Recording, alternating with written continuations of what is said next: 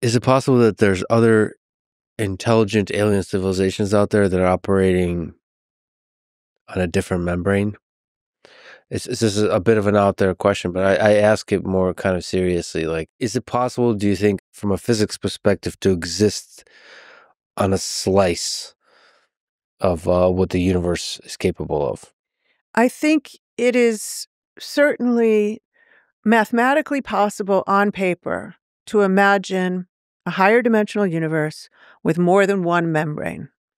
And if things are mathematically possible, I often wonder if nature will try it out.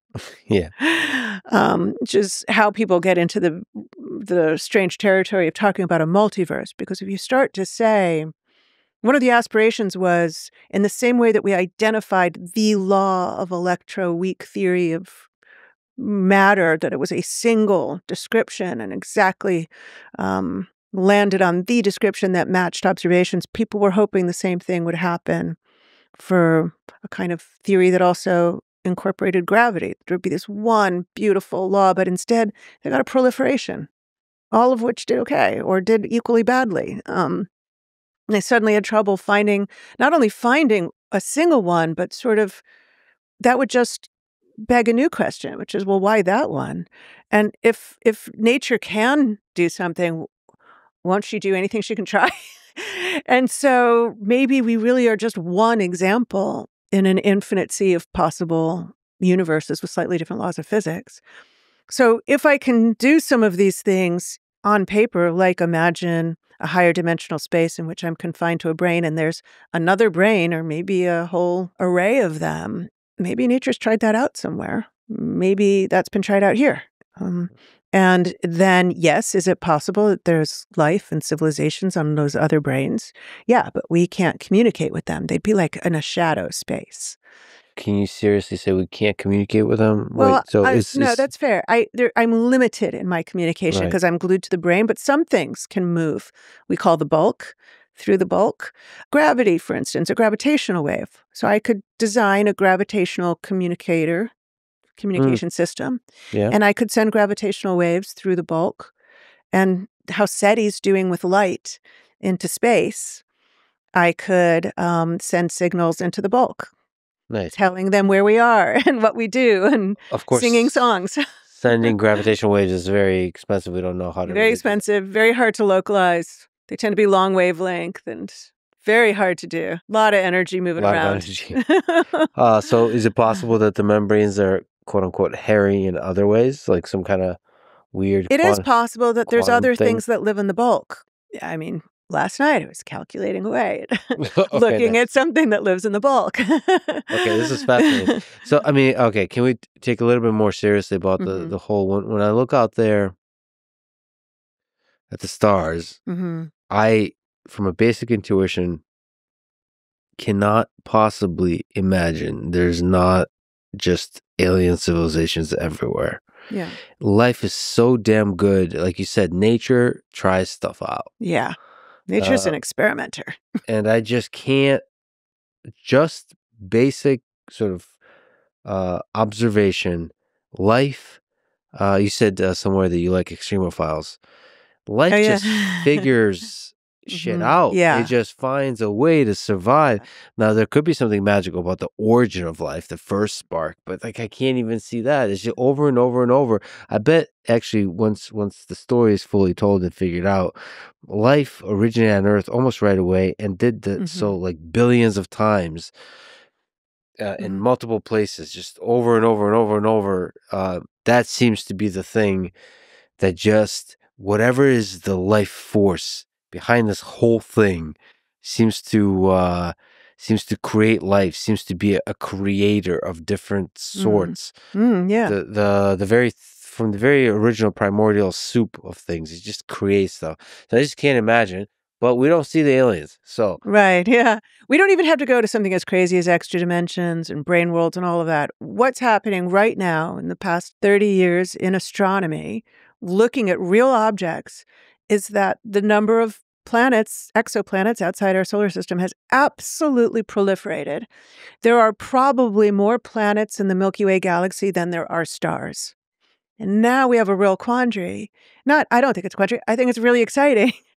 It becomes impossible. What you just said, I totally agree with. It becomes impossible to imagine that life was not sparked somewhere else in our Milky Way galaxy and maybe even in our local neighborhood of the Milky Way galaxy, maybe within a few hundred light years of the Milky of of, of our solar system. So my, my my gut says like some crazy amount of uh solar systems have life, bacterial life somewhere at some point in their history had some bacterial type of life, something like bacterial. Maybe it's totally different kinds of life. Mhm. So th- then I'm just facing with the questions like, why have we not clearly seen yeah. alien civilizations? And there, the answer, eh, I, I just, I, I don't find any great filter answer convincing.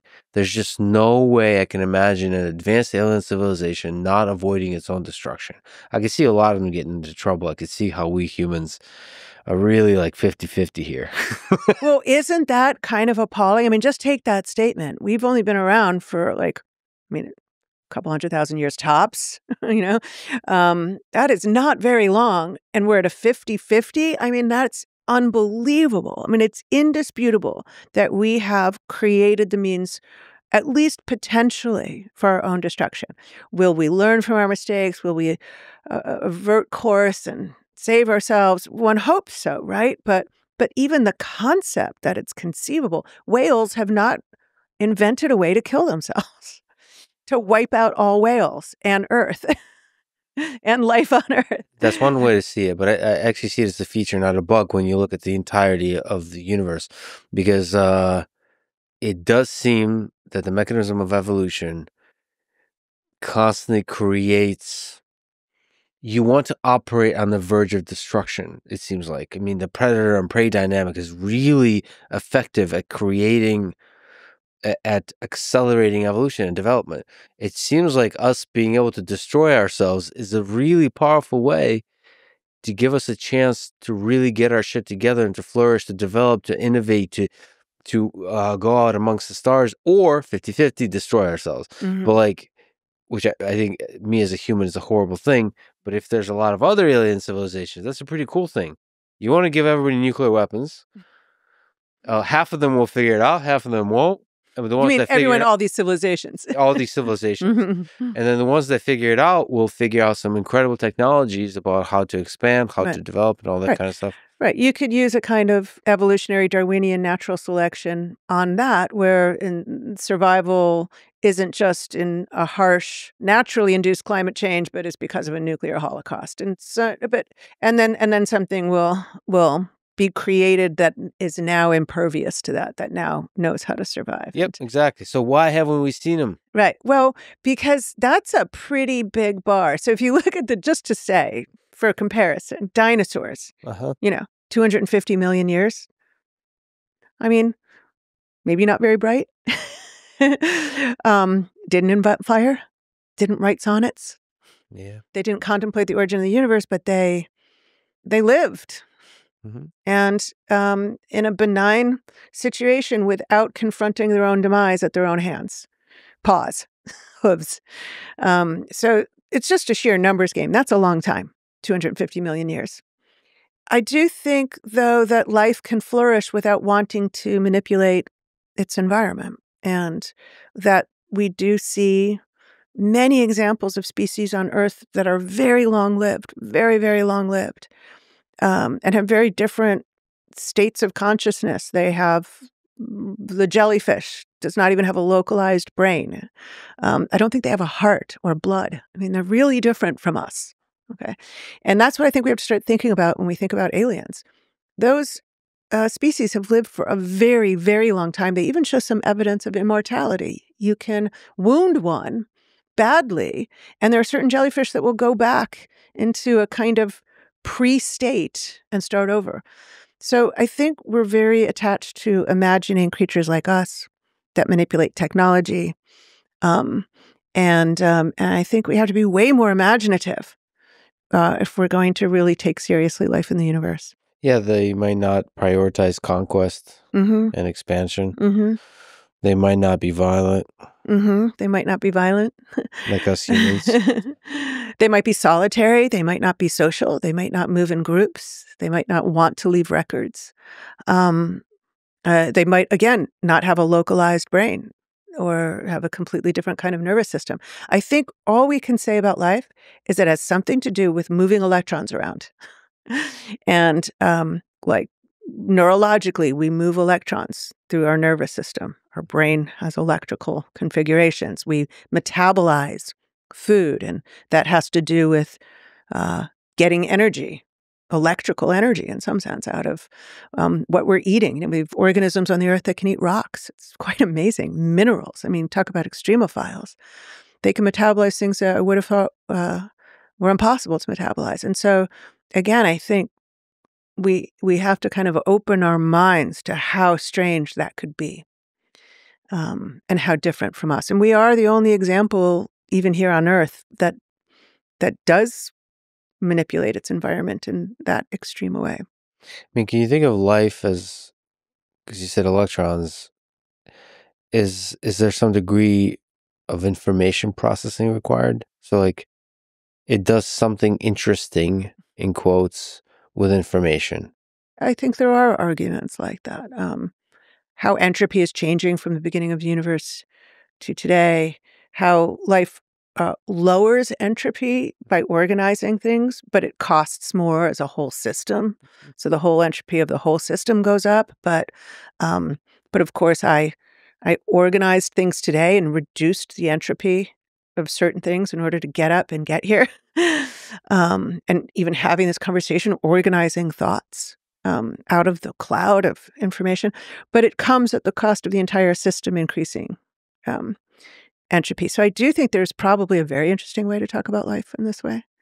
I'm sure somebody has. Mhm. Yeah, yeah. It creates local pockets of low entropy, and then it, the the kind of mechanism, the kind of object, the kind of life Mhm. form that could do that probably can take uh, arbitrary forms. And you could Mhm. think now, if you could reduce it all to information, now you could start to think about physics, and in the realm of physics with with the multiverse and all this kind of stuff, you could start to think about okay, how do I detect those pockets of low entropy? Yeah. I mean, people have tried to make arguments like that. Like, can I look for entropic arguments that might suggest we've done this before? Uh, the Big Bang has happened before.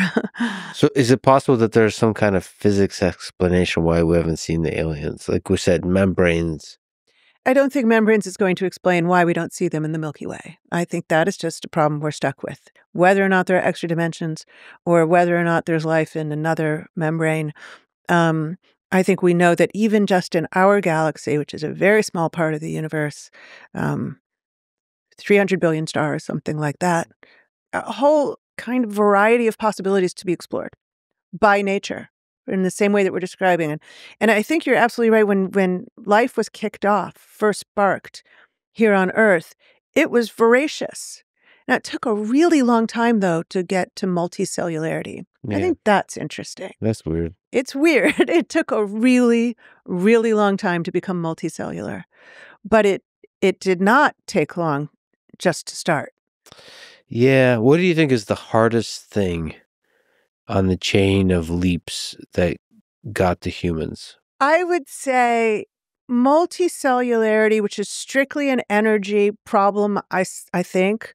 Again, it's just like can electrons flow the right way? Uh, and is it energetically favorable for multicellularity to exist? Because if it's energetically expensive, it's not going to succeed. And if it's energetically favorable, it's going to take off. It's really just and that's why I also think that going from inanimate um, to animate is probably gray. Like the transition is gray. At what point we call something fully alive? Famously, it's hard to make a nice list of bullet points that need to be met in order to declare something alive.